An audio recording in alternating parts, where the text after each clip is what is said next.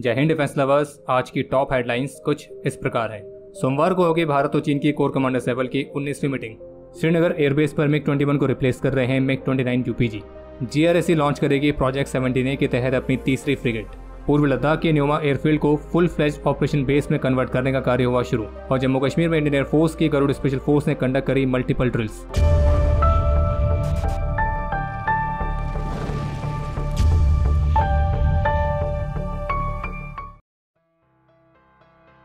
भारत में G twenty summit और south Africa में ब्रिक्स समिट से पहले भारत और चीन सोमवार को कोर कमांडर्स लेवल की नाइनटीन मीटिंग को कंडक्ट करेंगे, जो कि Chushul Moldo border meeting point पर आयोजित की जाएगी। और इस मीटिंग के दौरान एल से चीनी सैनिकों की वापसी के प्रस्तावों को आगे बढ़ाने का प्रयास किया जाएगा। हालाँकि अप्रैल में जो कोर कमांडर्स लेवल की अठारहवीं मीटिंग कंडक्ट हुई थी तो उस मीटिंग से कुछ भी खास आउटकम देखने को नहीं मिला था। और अब उम्मीद की जा रही है कि सोमवार को जो उन्नीसवीं कोर कमांडर्स लेवल की मीटिंग होगी तो शायद इसमें कुछ खास प्रोग्रेस देखने को मिले। इसके अलावा जैसे कि पिछले डिफेंस अपडेट में हमने आपको बताया था कि एक चाइनीज़ वॉरशिप जो कि सर्विलियंस कैपेबिलिटीज भी रखती है तो वो कोलंबो पोर्ट पर पहुँची थी और जो कि शनिवार को रवाना होनी भी थी। तो कोलंबो पोर्ट पर पहुँचे चाइनीज़ वॉरशिप को लेकर जब भारतीय विदेश मंत्रालय के प्रवक्ता से प्रश्न पूछा गया तो उनका यही कहना था कि हमने चीन की शिप वाली रिपोर्ट्स को देखा है लेकिन वे इस बात को लेकर श्योर नहीं है कि वो वॉरशिप है या नहीं। बाकी मैं इन रिपोर्ट्स को देखने के बाद इस बात पर ज़ोर दूँगा कि भारत सरकार देश के सुरक्षा हितों पर असर डालने वाले किसी भी डेवलपमेंट की सावधानी पूर्वक निगरानी करती है और उनकी रक्षा के लिए सभी आवश्यक उपाय भी किए जाते हैं। यानी कि आसान शब्दों में कहने का मतलब यह है कि चीन की हर एक वो एक्टिविटी जो कि भारत के सिक्योरिटी इंटरेस्ट के लिए खतरा बन सकती है तो उनको भारत सरकार द्वारा लगातार क्लोजली मॉनिटर किया जाता है।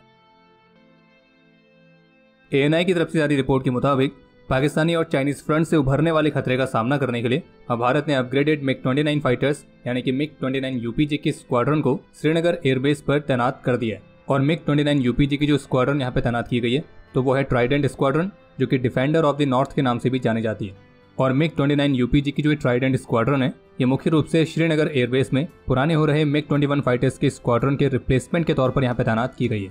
और इस तैनाती को लेकर एएनआई के साथ बात करते हुए इंडियन एयरफोर्स के fighter pilot squadron leader Vipul Sharma का ये कहना है कि श्रीनगर, कश्मीर घाटी के सेंटर में स्थित है और इसकी ऊंचाई मैदानी इलाकों से अधिक है। और इसलिए higher weight to thrust ratio और सीमा के निकट होने के कारण कम रिस्पॉन्स टाइम वाला यहाँ पे एयरक्राफ्ट रखना रणनीतिक रूप से बेहतर है। और ऐसे एयरक्राफ्ट जो कि बेहतर एवियोनिक्स और लंबी दूरी की मिसाइलों से भी लेस हो तो ऐसे में जो ये मिग 29 है तो वो इन सभी क्राइटेरिया को पूरा करता है, जिसके कारण हम दोनों फ्रंट्स पर अपने दुश्मनों को टैकल कर सकते हैं। बाकी मिग 21 के मुकाबले जो मिग 29 यूपीजी है, वो मल्टीपल एडवांटेजेस देता है और चूँकि ये एक अपग्रेडेड वेरिएंट है तो इसके लिए इमरजेंसी प्रोक्योरमेंट पावर्स का इस्तेमाल करके कई लीथल वेपनरी को लिया गया। और ऑफिशियल्स का यह भी कहना है कि कॉन्फ्लिक्ट के समय ये फाइटर एयरक्राफ्ट दुश्मन एयरक्राफ्ट की कैपेबिलिटीज को जैम करने की क्षमता भी रखता है। और अब इस एयरक्राफ्ट में एयर टू ग्राउंड आर्मामेंट्स को भी लगाया गया जो कि पहले नहीं थे। यूके के सिक्योरिटी मिनिस्टर टॉम डुकेंडहट ने अपनी भारत यात्रा के दौरान खालिस्तानी समर्थकों के खिलाफ एक बड़ी घोषणा करी है जिसमें उन्होंने खालिस्तानी गतिविधियों को नाकाम करने के लिए 95,000 पाउंड्स तक की इन्वेस्टमेंट की घोषणा करी है।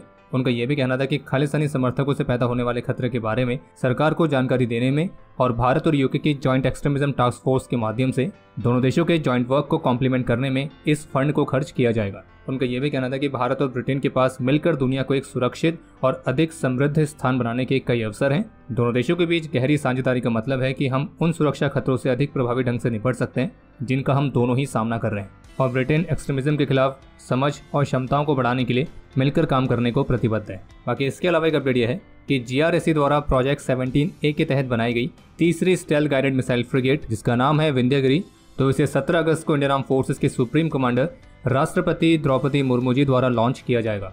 और फिर सभी ट्रायल्स को कंप्लीट करने के बाद अगस्त 2025 तक इसे इंडियन नेवी की सर्विस में कमीशन किया जाएगा।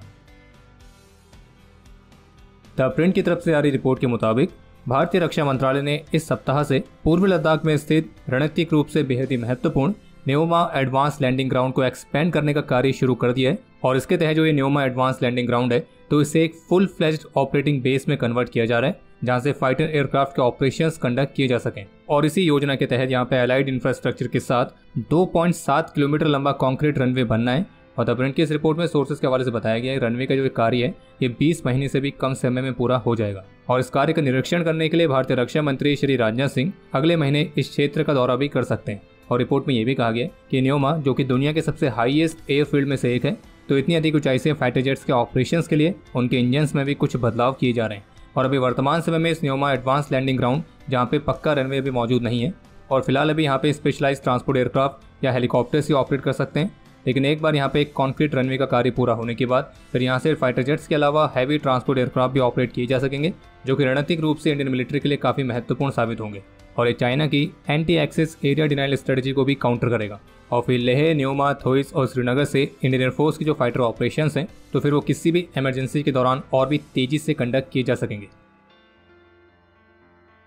स्वतंत्रता दिवस से पहले कश्मीर घाटी में इंडियन एयरफोर्स की special force unit Garud special forces द्वारा मल्टीपल ड्रिल्स को कंडक्ट किया गया और जो गरुड़ स्पेशल फोर्स है, वो कश्मीर घाटी में काउंटर टेररिज्म ऑपरेशन और अनआर्म्ड कॉम्बेट प्रैक्टिस के लिए तैनात है।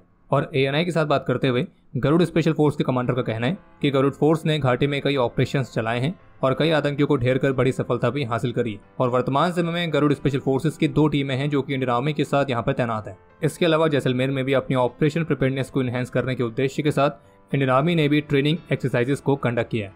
इसके अलावा एक अपडेट ये देखने को मिला है कि सर्विलियंस इक्विपमेंट बनाने वाली चीन की कंपनी है, जिसका नाम है डहुआ। तो वो यूरोप में अपने कुछ ऐसे कैमरास को सेल कर रही है, जो कि स्किन कलर एनालिटिक्स जैसे फीचर के साथ आता है। और अमेरिका की इंटरनेट प्रोटोकॉल वीडियो मार्केट, यानी कि आईपीवीएम ने खुलासा किया है कि चीन अपने सर्विलेंस इक्विपमेंट के ज़रिए अब यूरोप में मानवाधिकारों का हनन कर रहा है। और चाइनीज़ कंपनी के कैमराज में जो ये स्किन कलर एनालिटिक्स वाले फीचर की बात की गई है तो बेसिकली ये एक ऐसा फीचर है कि अगर आप इसे ऑन करते हैं तो फिर जो कैमरा है, वो उसके सामने से पास होने वाले किसी भी इंसान के त्वचा के रंग की पहचान भी कर सकता है। और चूँकि स्किन के रंग से किसी की पहचान करना एक रंग भेद माना जाता है, जो कई देशों में अपराध की श्रेणी में भी आता है। इसलिए चाइनीज़ कंपनी के कैमरा के इस फीचर ने ह्यूमन राइट्स के कंसर्न्स को रेस किया है, जबकि फरवरी 2021 में आईपीवीएम की तरफ़ से ये भी बताया गया था कि चाइनीज़ कंपनी नहुआ ने चाइनीज़ पुलिस को रियल टाइम पर उइगर मुस्लिमों के खिलाफ चेतावनी देने वाला एक वीडियो सर्विलियंस सिस्टम प्रोवाइड किया था और ये सिस्टम आईब्रो की शेप स्किन का कलर तो इन चीज़ों के माध्यम से उइगर लोगों की पहचान करता था। बाकी जो चाइनीज़ कंपनी नहुआ है तो इसके सीसीटीवी कैमराज भारत में भी काफ़ी ज़्यादा इस्तेमाल होते हैं।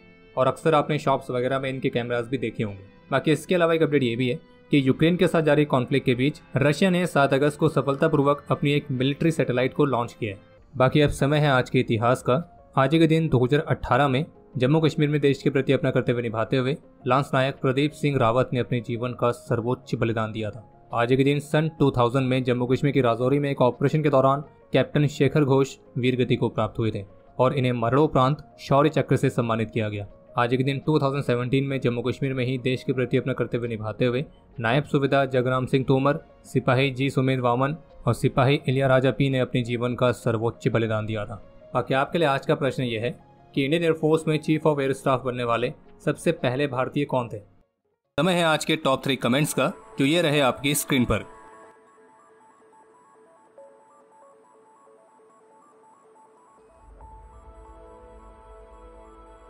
आज के इस एपिसोड के लिए इतना ही। उम्मीद आपको एपिसोड पसंद आया होगा। अगर पसंद आए तो वीडियो को लाइक कीजिए, शेयर कीजिए और बाकी हमारे मर्चेंडाइज के नए डिज़ाइन को चेकआउट करना ना भूलें, जिसका लिंक आपको वीडियो के डिस्क्रिप्शन में मिल जाएगा। और बाकी अगर आपने चैनल को सब्सक्राइब नहीं किया है तो चैनल को भी सब्सक्राइब ज़रूर करें।